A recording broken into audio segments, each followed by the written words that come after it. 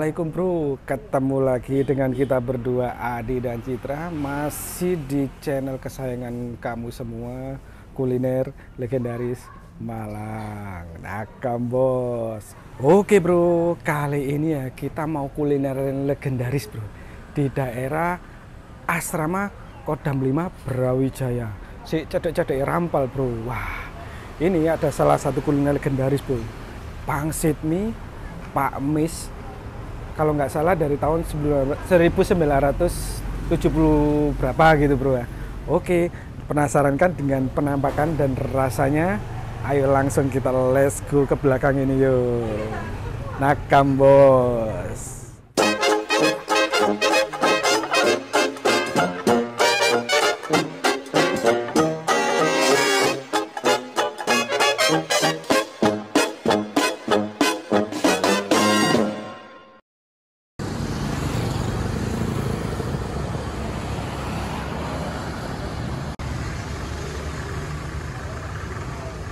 Assalamualaikum Waalaikumsalam Pak Nis ini Ya.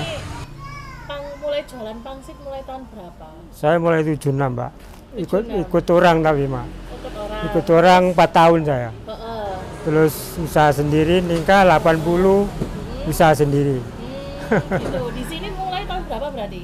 ya anu di sini 92 saya 76 di situ Oh gitu, tapi tetap ya? ya jalan tetap ya. melingkar sini Hmm, hmm, hmm, hmm. Sehari, nggak sehari sih, mas tiap malam ya, Iya. semalam itu habis berapa porsi? oh udah menentu mbak sekarang iya sekarang eh, rata-ratanya berapa? ya 70 80 porsi Banyak tak.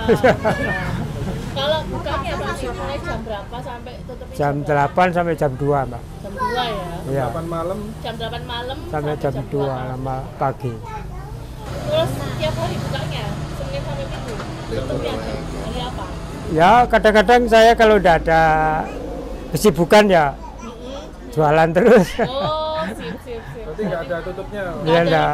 Iya. kalau ada keperluannya aja Mas. perluan ya berganti sama Heeh, heeh. menantu saya itu Yang kemarin iya. Oh, itu kadang-kadang seminggu sekali kalau sudah capek saya sudah udah ya? tenaga sudah enggak Heeh. mumpuni mbak Iya, iya, iya, iya.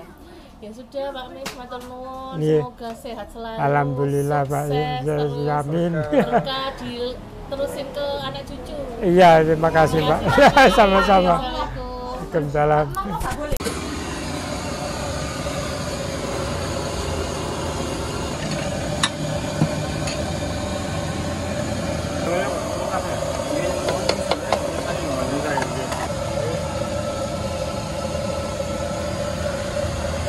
kering mas iya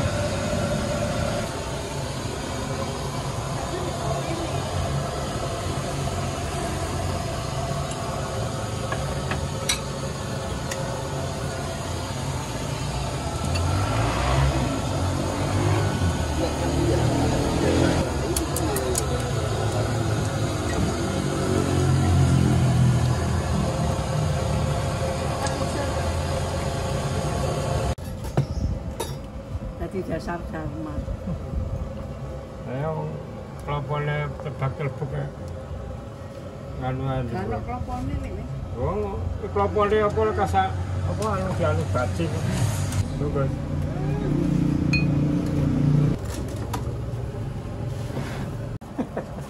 saya gembira banget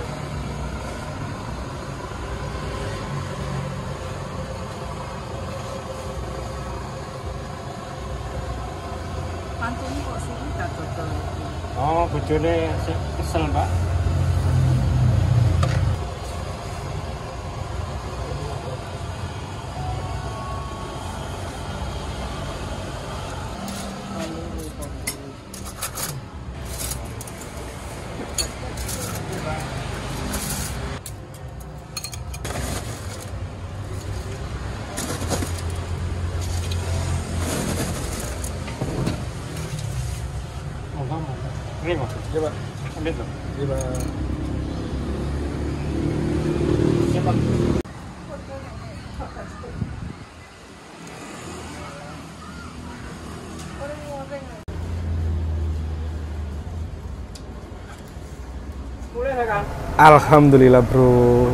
Ini nih sudah tersaji di depan saya Semangkok pangsit mie legendaris eh, Dari tahun 76 bro. Wah kalau nggak salah ya tadi Pak Mis ya. Wah ini bro. Penampakannya seperti ini. Wah. Wow yo. Mantep tenan. Dan oke langsung ya. Kita review gak pakai lama oke? Dan wah ini bro.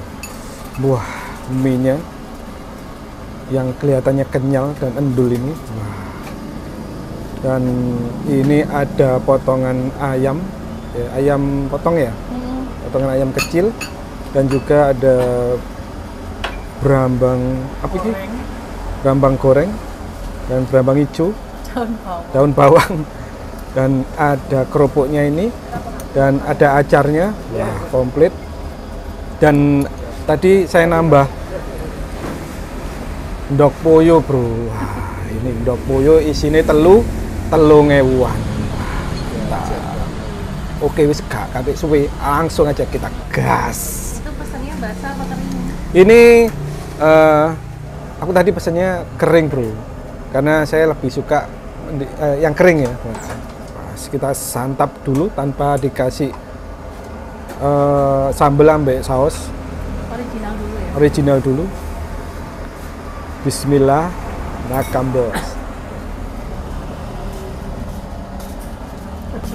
hmm.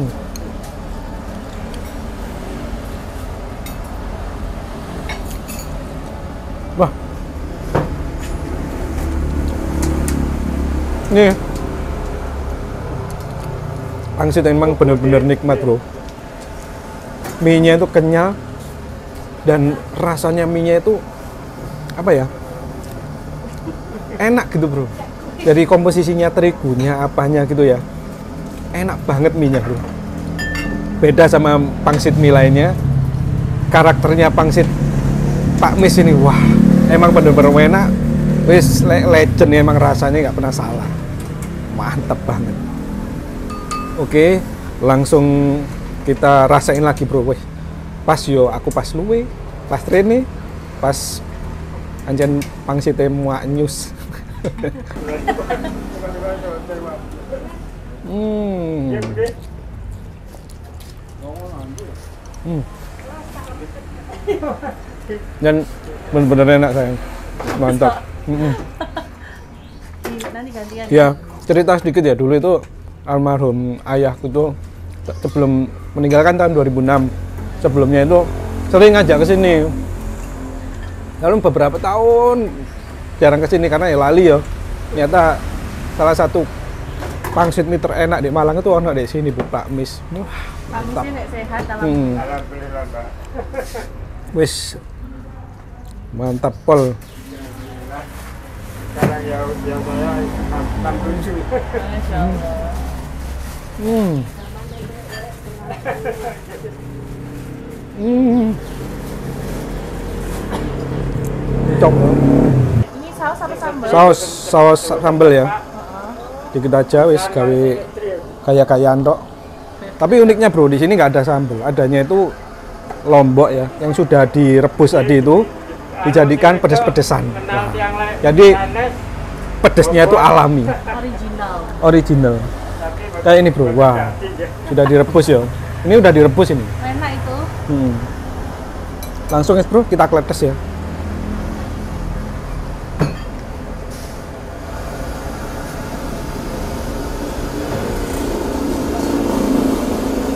Nakam bos.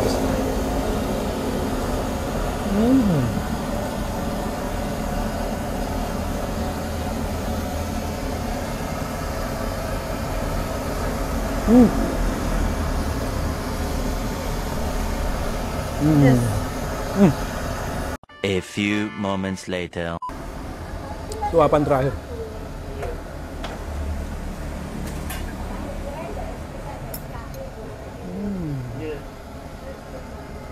Bukan, oke bro. Alhamdulillah bro.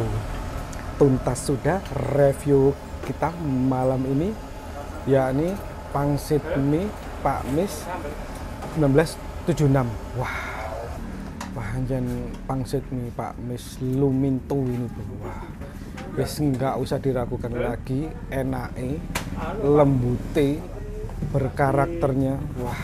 Racikan racikan seasoningnya bumbunya itu wah bener-bener maknyos lah bro.